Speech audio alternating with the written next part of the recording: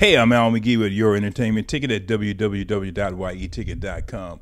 Well, the film I'm going to talk about right now is called Once Upon a Time in Hollywood.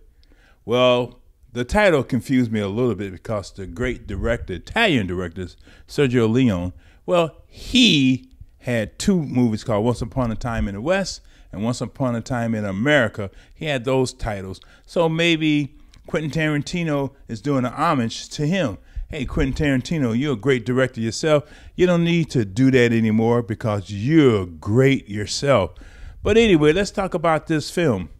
Well, you know, I was watching um, comedians in cars getting coffee with Seinfeld and Eddie Murphy, and they were in Hollywood, Sunset Strip area, and I realized that all that magic is gone that you see in this film in 1969. You see the long haired hippies, and you see the movie theater marquees, many of them. Well, all that is gone now. It, it really is. And he, Quentin Tarantino, takes you back to the late 60s in Hollywood when all of that was magical. It was all there. You see the names of these movies on these marquees and things like that. Well, the two main characters, Rich, Rick Dalton, played by Leonardo DiCaprio. Well, he's a, a star, but not a real big star. He does TV westerns and he does other parts in other movies too. You'll see him in many different movies and many different parts. And also his best friend and longtime stuntman, Cliff Booth, played by Brad Pitt. You know, you see where there are many scenes of Dalton playing different characters, and, and also you'll see that, hey, this guy, he's not a bad actor.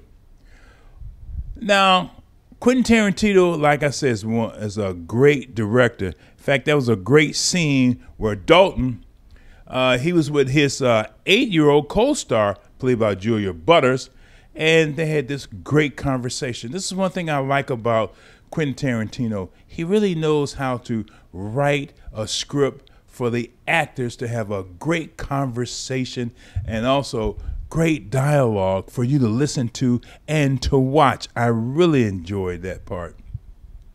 Also in this film too, you got the actress Sharon Tate played by Margot Robbie. And at first you th- would think, hey, this is about Manson and things like that. Well, again, this is Quentin Tarantino. This is where he uh, does his best as in that you anticipate what you think you might want to see, but he does what he has to do to make you reverse everything visually. You know, Sharon Tate's in, in this. Also, she has her uh, Polish filmmaker husband, Roman Polanski, in this film and also Emile Hirsch. He plays Jay Sebring, which is which is the neighbors of Dalton and Booth. And you know, this is a very good film about old Hollywood at that time, but how it's changing, how it's fading, and things like that in 1969. There's two parts to this film, of course.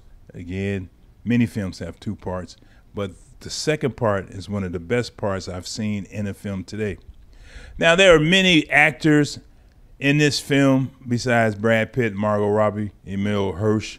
You got Timothy Olyphant, you got Julia Butters, Dakota Fanning, Bruce Dern, the late Luke Perry, Damian Lewis, Al Pacino, Nicholas Hammond, Ronan, uh, Uh, Damian Herriman, Lena Dunham. I was surprised to see her. The great Kurt, Kurt Russell, you know, I had a great conversation with Kurt Russell a few years ago.